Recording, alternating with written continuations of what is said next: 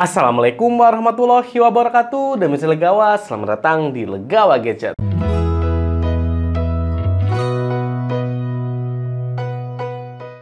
Sebelumnya jangan lupa untuk klik tombol subscribe untuk support channel Legawa Gadget. Terima kasih.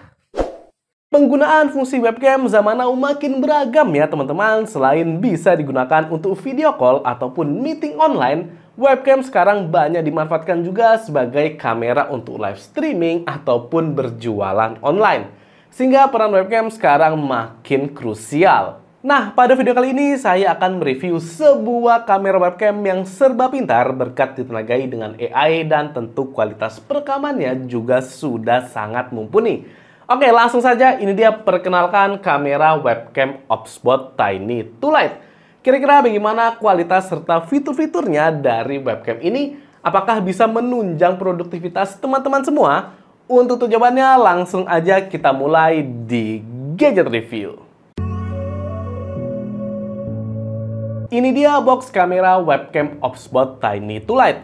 Ya, boxnya ini memiliki warna perpaduan antara putih dan merah dengan desain bagian depan hanya gambar webcamnya saja, sedangkan untuk nama produknya ada di kedua sisi samping. Langsung saja kita unboxing. Dalam paket pembelian kita mendapatkan yang pertama tentu satu unit webcam Opsbot Tiny 2 Lite, yang kedua buku manual dan kartu garansi, yang tiga kabel data Type-C to Type-C, dan yang terakhir adalah konverter dari Type-C to Type-A. Oh iya, jangan lupa kalau beli produk Opsbot, pastikan ada kartu garansi dari PT Denka Pratama Indonesia untuk memastikan barang yang teman-teman beli itu resmi dan bergaransi resmi juga. Yap, ini dia kamera webcam Opsbot Tiny 2 Lite yang di mana desain dari webcam ini cukup simpel dengan warna overall hitam doff dan ada list berwarna merah di sekitar kameranya. Di sisi depan terdapat logo Opsbot kemudian dua lubang mic, lensa kamera, dan satu LED indikator. Untuk di sisi belakang terdapat lubang port Type-C, kemudian di sisi bawah terdapat lubang skru 1 per 4 inci. Untuk build quality dan finishing sudah baik dan rapi, walaupun overall bahannya terbuat dari plastik, tapi ini tetap solid. Untuk penempatan webcam ini cukup universal, karena sisi bawahnya bisa dibuka untuk menjepit di bagian atas monitor. Dan kita juga bisa pasang di tripod melalui lubang skru. Jadi tinggal sesuaikan saja dengan kebutuhan. Selanjutnya ini dia pengalaman saya selama menggunakan kamera webcam Opsbot Tiny 2 Lite. Yang di mana sebelum kita menggunakan webcam ini, kita harus mendownload aplikasinya terlebih dahulu. Dan namanya adalah Opsbot Center. Ya, ini dia tampilan awal dari aplikasi Opsbot Center. Ini mana kita lihat di sini pengaturannya sangat banyak ya, teman-teman. Cuma jangan bingung dulu soalnya kita bakal bahas satu persatu pelan-pelan saja.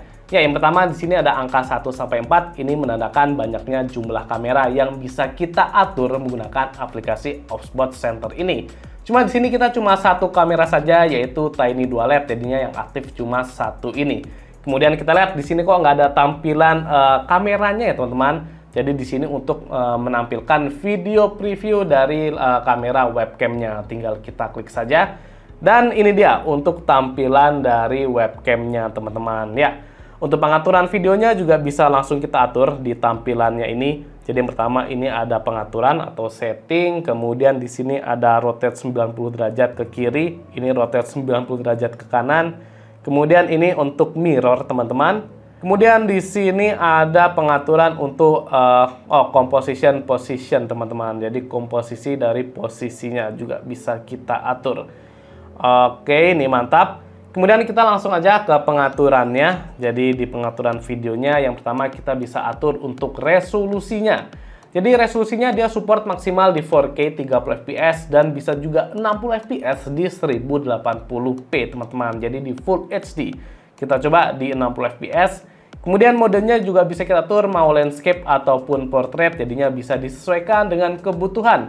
Semisal kita butuh buat uh, live di TikTok ataupun Shopee ataupun short uh, YouTube itu pastinya di portrait. Cuma kalau semisal kita buat untuk video conference ataupun buat video call landscape pastinya lebih nyaman ya teman-teman Kemudian di sini ada recording bitrate, kemudian recording formatnya juga bisa kita atur, jadinya cukup lengkap.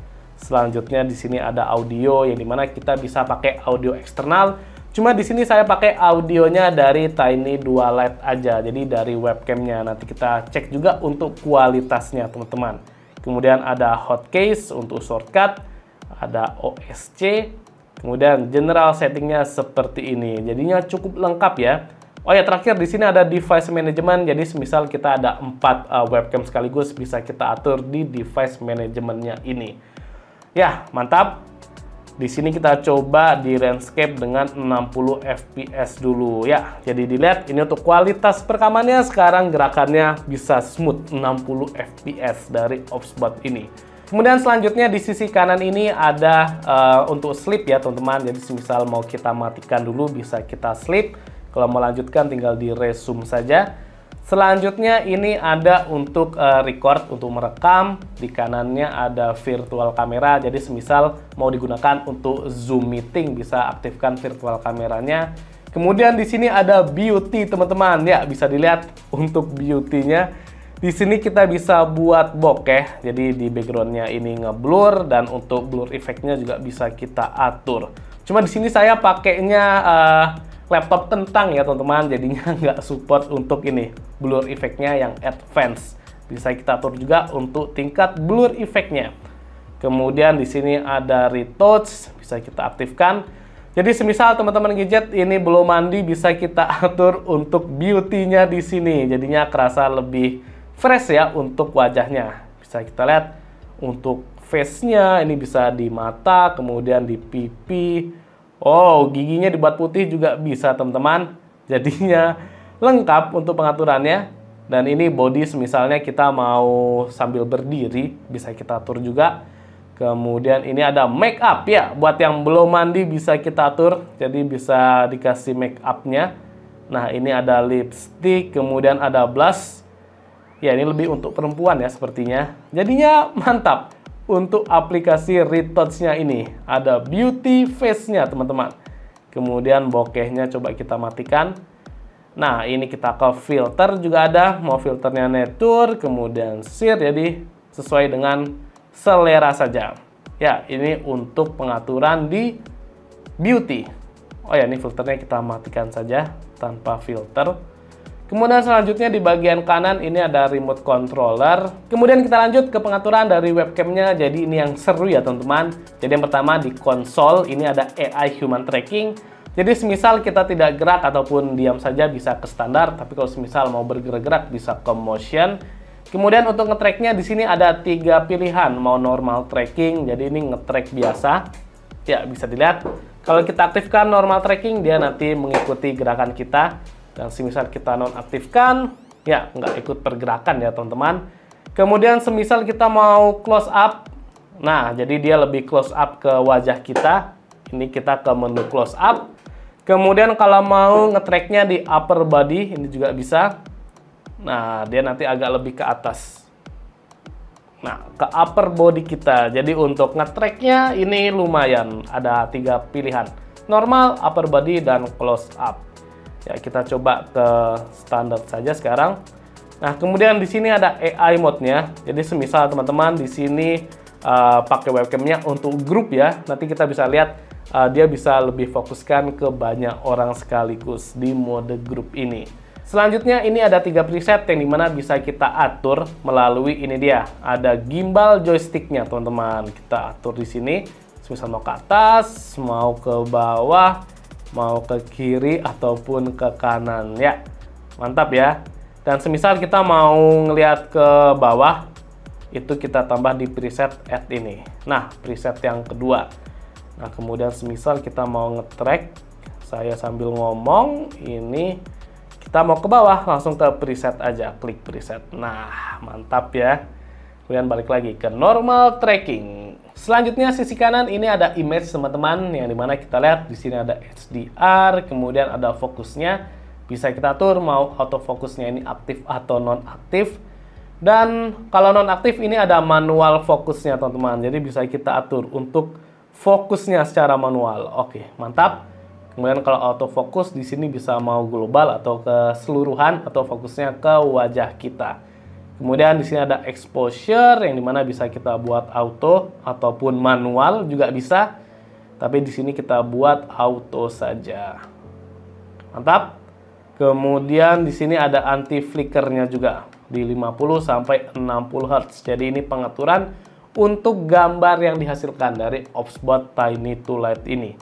Kemudian kita lanjut lagi ke more. Jadi di sini ada device initial state yang di mana oh ini joysticknya juga teman-teman. Jadinya kayak yang pertama tadi ya ada joysticknya dan kita bisa atur zoomnya juga di sini.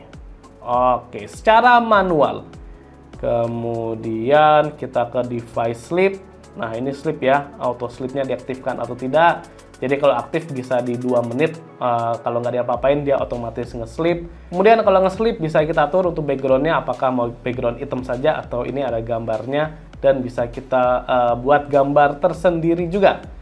Uh, kita coba ya, ini saya pakai gambar yang ini, kita sleep.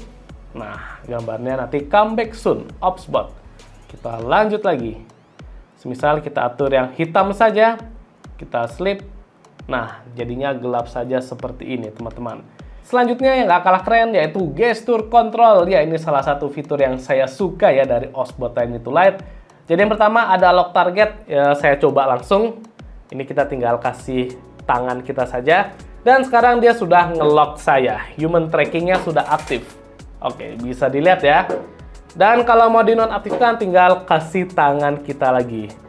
Nah, sekarang sudah tidak aktif. Oke, mantap. Kemudian kalau mau di zoom in, zoom out juga tinggal kasih tangan seperti ini. Nah, dia langsung nge-zoom in. Kasih lagi, langsung ke zoom out. Oke, jadi mau tangan kiri atau kanan semuanya bisa. Ini mantap ya. Jadi misal kita nggak ada teman ataupun kita butuh uh, secara live tapi nggak di laptop bisa langsung pakai gesture ini.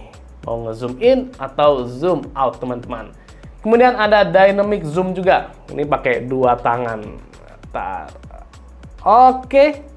Jadi kalau mau zoom in kita jauhin tangannya, kalau zoom out tinggal diketin tangannya. Dan untuk Osbot Tiny to Light ini juga sensitif ya, jadinya responsif juga dengan gesture control ini sehingga saya suka banget sama gesture control di webcamnya ini. Ya, ini good job ya.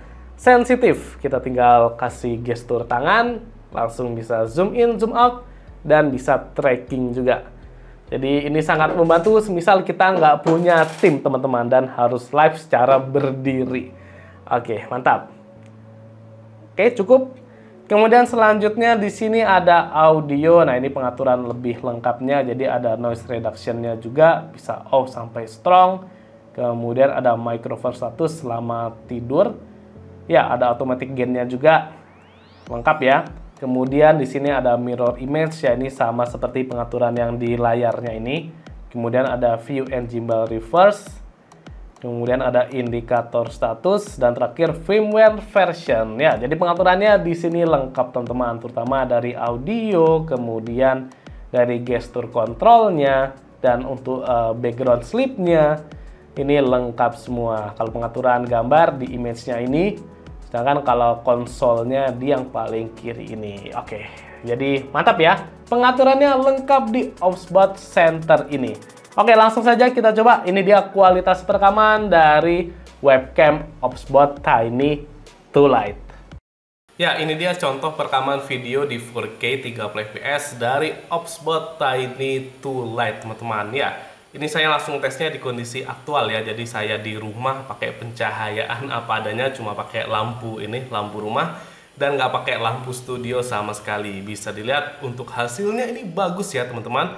Jadi walaupun ini ya tergolong agak gelap sih di dalam rumah, tapi bisa dilihat untuk detailnya, ketajamannya juga warnanya ini juga masih bagus teman-teman. Jadi memang untuk hasil dari perekaman Oxford Tiny Toilet ini saya rasa nggak usah diragukan lagi ya teman-teman.